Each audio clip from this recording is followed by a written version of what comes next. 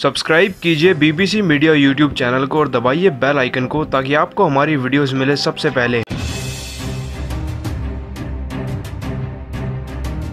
दोस्तों, अगर आप भी सचिन तेंदुलकर को एक महान खिलाड़ी मानते हैं तो वीडियो को लाइक ज़रूर कीजिएगा। दोस्तों रोड सेफ्टी वर्ल्ड सीरीज़ का फाइनल मुकाबला भारत और श्रीलंका की टीम के बीच में बस कुछ ही देर में शुरू होने वाला है। लेकिन आज कैसे भारतीय टीम श्रीलंका की टीम को खदेड़ कर इस टूर्नामेंट को अपने नाम करेगी, ये तो आपको बताएँगे ही, परंतु उससे पहले आप सभी को क्या लगता है? आज भारत और श्रीलंका में कौन सी टीम इस टूर्नामेंट का फाइनल जीतेगी, नीचे कमेंट करके ज़रूर बताइएगा। तो दोस्तों, भारत और इंग्लैंड की टीम के बीच में भले ही पाँच मैचों की टी सीरीज़ समाप्त हो चुकी चुकी है। लेकिन भारतीय टीम के बाद अब भारतीय दिग्गजों की टीम को भी एक जीत दर्ज करनी है। दरअसल दोस्तों, आपको बता दें कि रोड सेफ्टी वर्ल्ड सीरीज़ का फाइनल मुकाबला आज रायपुर में खेला जाएगा शाम सात बजे से। पिछले साल कोरोना के चलते ये टूर्नामेंट बीच में ही रद्द हो गया था, लेकिन अब ये साल फिर से शुरू हुआ। और जैसे ये शुरू हुआ तो भारतीय टीम ने एक धमाकेदार शुरुआत करी थी जीत के साथ। छह में से पाँच मुकाबले जीतकर भारतीय टीम ने सीधा फाइनल में अपनी जगह बना ली। लेकिन इतने ही मुकाबले जीतकर और खास तौर पर दूसरा सेमीफाइनल जीतने के बाद श्रीलंका की टीम ने भी फाइनल में जगह बना ली है।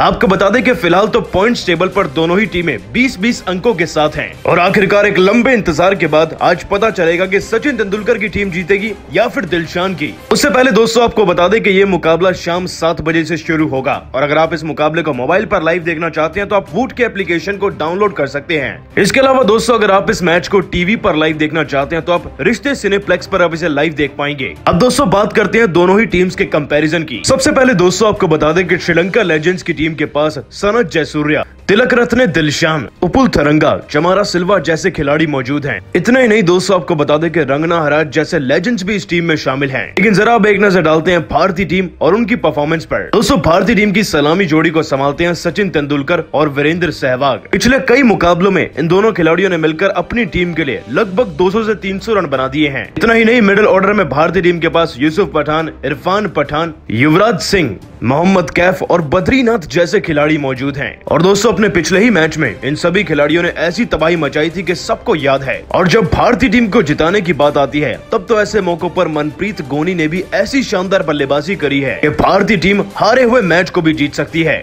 अब दोस्तों बात करते हैं कि आखिरकार इस फाइनल मैच को कौन जीतेगा। दोस्तों, इस पूरे टूर्नामेंट में भारत और श्रीलंका की टीम का आमना सामना साल 2020 में हुआ था। इस मैच में श्रीलंका की टीम ने पहले बल्लेबाजी करते हुए मात्र 138 रन बनाए थे, जिसके जवाब में भारतीय टीम की तरफ़ से मोहम्मद कैफ ने शानदार छियालीस रनों की पारी खेली। इतना ही नहीं, आपको बता दें की उस मुकाबले में मैन ऑफ़ द मैच बने इरफान पठान ने तो इकतीस गेंदों में ही लगभग 200 के स्ट्राइक रेट ऐसी सत्तावन रन जड़ते हुए अपनी टीम को इस मुकाबले में बड़ी आसानी ऐसी जिता दिया था। आपकी जानकारी के लिए बता दें कि भारतीय टीम कई ओवर्स पहले ही इस मुकाबले को जीत गई थी। और उस मैच में जीत के बाद अब तक तो भारतीय टीम का श्रीलंका लेजेंड्स की टीम से आमना सामना नहीं हुआ है। लेकिन एक चौंकाने वाला आंकड़ा आपको ये बता दें कि साल 2021 में इस टूर्नामेंट में श्रीलंका की टीम पाँच मैच जीत चुकी है। तो वही दोस्तों भारतीय टीम ने तीन ही मैच जीते हैं। तो, तो भारतीय टीम ने साल 2020 में ही मुकाबले ज़्यादा जीते थे जिसके चलते वो सेमीफाइनल में जीतने के बाद सीधा फाइनल में पहुँच गए। लेकिन ये आंकड़ा वाकई में दर्शाता है की ये फाइनल मैच कितना ज़्यादा रोमांचक होगा। लेकिन आप सभी को क्या लगता है? आज इस रोमांचक फाइनल मैच को कौन सी टीम जीतेगी? भारत या श्रीलंका? नीचे कमेंट करके ज़रूर बताइएगा। तो भारत और इंग्लैंड की टीम के बीच में खेले गए पाँचवें टी मैच को जीतकर भारतीय टीम ने इतिहास ही रच दिया है। और भारतीय टीम की एक और शानदार सीरीज़ जीत के बाद पूरी देश दुनिया में उनकी तारीफ़ की जा रही है। वैसे आपको बता दें कि भारतीय टीम की जीत केवल एक कप्तान नहीं, बल्कि दो दो कप्तानों की वजह से हुई है। आज मैदान में रोहित शर्मा भी विराट कोहली के साथ कप्तानी करते नज़र आए। और इसी पर दिग्गजों ने अपना बड़ा बयान दिया है। लेकिन उससे पहले आप सभी को क्या लगता है? क्या भारतीय टीम ये सीरीज़ वाकई में रोहित शर्मा की वजह ऐसी जीती? नीचे कमेंट करके ज़रूर बताइएगा। दोस्तों आखिरकार भारत और इंग्लैंड की टीम के बीच में चल रही रोमांचक पाँच मैचों की टी सीरीज़ समाप्त हुई है। इस सीरीज़ को आखिरकार भारतीय टीम ने अपनी शानदार परफॉर्मेंस के बलबूते पर तीन दो की बढ़त से जीता है। अगर बात करें सीरीज़ के पाँचवें टी मैच की तो आपको बता दें कि भारतीय टीम ने टॉस भले ही आ रहा था, लेकिन इसके बाद जो बल्लेबाजी हुई, उसकी तो पूरी दुनिया तारीफ़ कर रही है। रोहित शर्मा और विराट कोहली पहली बार अंतर्राष्ट्रीय टी मुकाबले में ओपनिंग करने के लिए मैदान में आए, और इस जोड़ी ने ऐसी ओपनिंग करी जो की इतिहास के पन्नों में सुनहरे अक्षरों ऐसी लिखी जाएगी। रोहित शर्मा ने जहाँ 34 गेंदों में चौसठ रन जड़ दिए तो वहीं कोहली ने भी 80 रनों की शानदार पारी खेली। इतना ही नहीं दोस्तों सूर्य कुमार यादव और पांड्या के तूफ़ान की बदौलत भारतीय टीम ने स्कोरबोर्ड पर 225 का लक्ष्य लगा दिया। और किसी भी टीम के लिए लक्ष्य चेस करना बहुत ही बड़ी बात होती है। और देखते ही देखते हमारी गेंदबाजी व रोहित शर्मा के सही फैसलों की वजह ऐसी हमारी टीम इस मुकाबले को छत्तीस रनों के अंतर ऐसी जीत गई।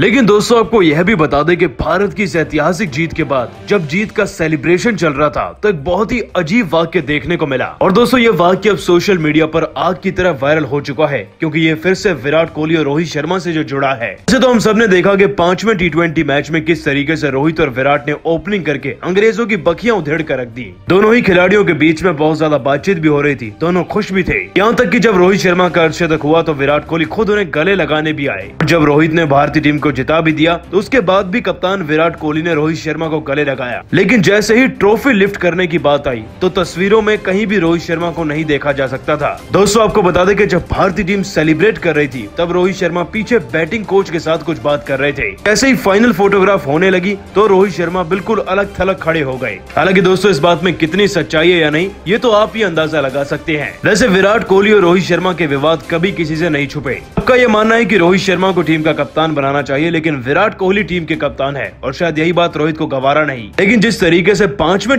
टी मैच के बाद विराट कोहली ने रोहित शर्मा को गले लगाया था, उससे तो यही पता चलता है की दोनों खिलाड़ी बहुत ही अच्छे दोस्त भी है। लेकिन दोस्तों, अचानक से विनिंग सेलिब्रेशन पे रोहित शर्मा का इस तरीके से अलग हो जाना विराट कोहली का भी रोहित शर्मा को ज़्यादा ना पूछना, आखिर किस बात का अंदेशा देता है? आपको बता दें कि विराट कोहली और रोहित शर्मा के बीच लड़ाइयों की खबरें अक्सर आती ही रहती हैं। एक बार रोहित शर्मा ने विराट कोहली को सोशल मीडिया पर से अनफॉलो भी कर दिया था, जिसके बाद दोनों ही खिलाड़ियों के बीच में कई बार ड्रेसिंग रूम से भी लड़ाइयों की खबरें सामने आई हैं। लेकिन सच बात तो यह है कि दोनों खिलाड़ी जब भारत की जर्सी पहनकर अपने देश के लिए खेलते हैं तो केवल अपने देश के बारे में ही सोचते हैं। फिर भी दोस्तों, आप सभी को ये विजुअल्स देखकर क्या लगता है? विराट कोहली और रोहित शर्मा के बीच में सच में लड़ाई है या नहीं, नीचे कमेंट करके ज़रूर बताइएगा। तो भारत और इंग्लैंड की टीम के बीच में खेले गए पाँचवें टी मैच को जीतकर भारतीय टीम ने इतिहास ही रच दिया है। और भारतीय टीम की एक और शानदार सीरीज़ जीत के बाद पूरी देश दुनिया में उनकी तारीफ़ की जा रही है। वैसे आपको बता दें कि भारतीय टीम की जीत केवल एक कप्तान नहीं, बल्कि दो दो कप्तानों की वजह से हुई है।